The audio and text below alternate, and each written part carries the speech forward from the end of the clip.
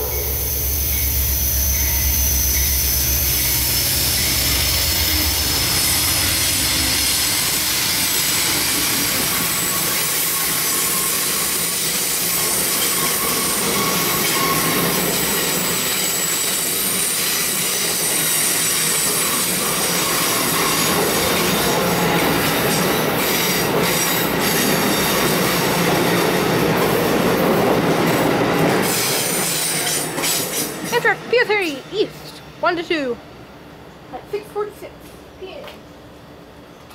So, about six and a half hours late.